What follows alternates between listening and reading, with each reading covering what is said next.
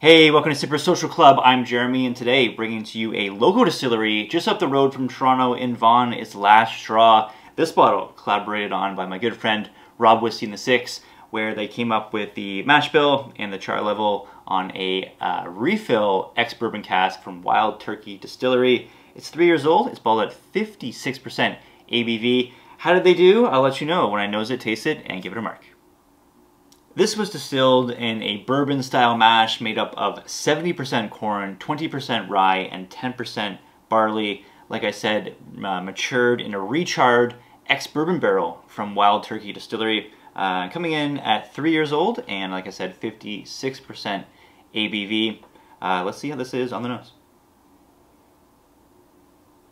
This thing is like a weird kind of Frankenstein hybrid whiskey where it's got uh, American bourbon style elements and Canadian style elements into it all at once.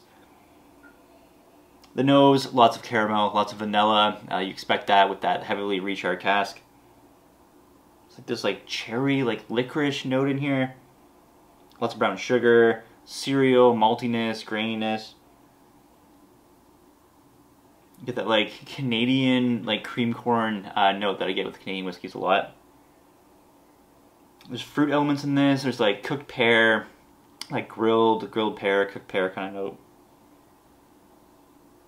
Definitely um, a lot of um, oak, char, like barrel influence for sure. There's even like floral notes and like it's like buttery popcorn note too. There's there's a lot of stuff going on with this nose. This is a very complex nose, uh, very enjoyable for sure. Yeah, lots of stuff going on with this. Um, I'd say the balance is a little wonky, but you might expect that. But yeah, love the nose for sure. Uh, let's go palate.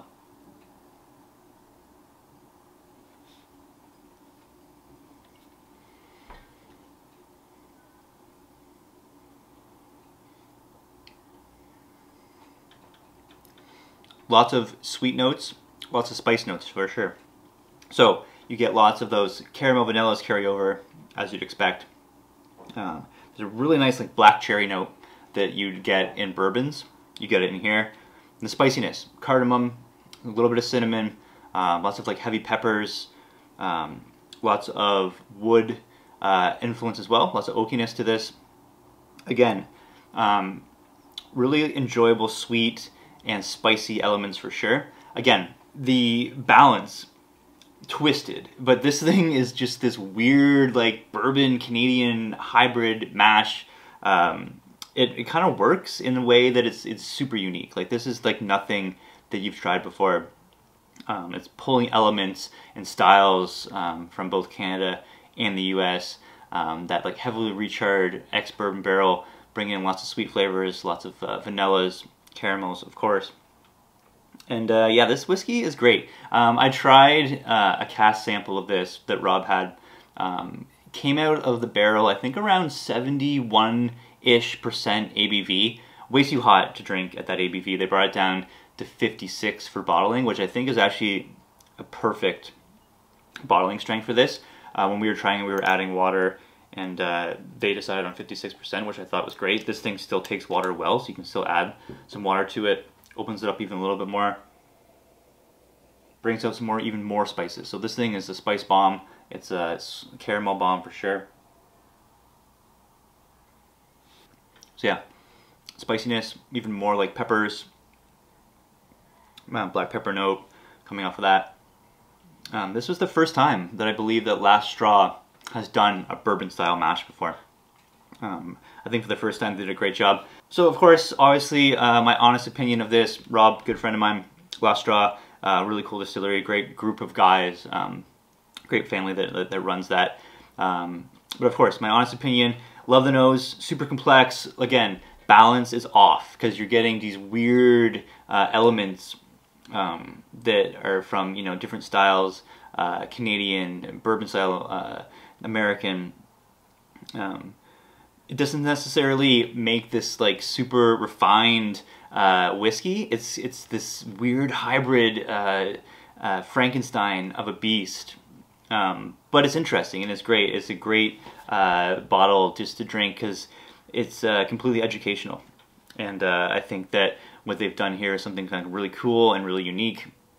Um, Score-wise for me in this one, um, I'm giving it 82 out of 100. I think that's a very uh, good score for, for what you're getting here. A three-year-old whiskey, um, first time a local, very small Asturian style uh, distillery doing a mash for the very first time. I think this came out great. Like I said, the balance is off, but it doesn't really take away from it because you're, what you're getting here is just this kind of like uh, experimental, hybrid, uh, interesting whiskey um, with a really high uh, rye, rye uh, intake. If you compare it to uh, bourbons in the U.S., 20% rise is, pretty is pretty high. So yeah, really cool experiment. Uh, really awesome to get um, whiskey in the six label on a bottle. I think that's so cool um, for something that's three years old and noses this well. And uh, it does drink very very well. Again, the balance, but who cares about the balance with this? This is uh, this is a Frankenstein of a whiskey, and it's uh, it's powerful and it's uh, it's good, really nice. So yeah, there you have it. Um, these things are selling out quick. I'm not sure if there's any left by the time you'll see this, you can check uh, Last Straw Distillery if you're in Ontario. They'll ship it to you. Uh, link in the description down below. So let me know what you think. Um, typical Canadian style is that they they distill each grain separately and blend it together. Uh, they don't do the bourbon mash here in Canada um, typically. But let me know, what do you think? Should Canada start doing more uh, mashes uh, and producing whiskey that way? Or do you like how they do the separate, you know, uh, corn, rye, wheat, barley, and then blend that together as one whiskey? Or um, would you uh, like to see more Canadian distilleries kind of do the bourbon style? Let me know in the comments down below, and uh, if you like the video, give it a thumbs up. Until next time, guys, have a good one. Cheers.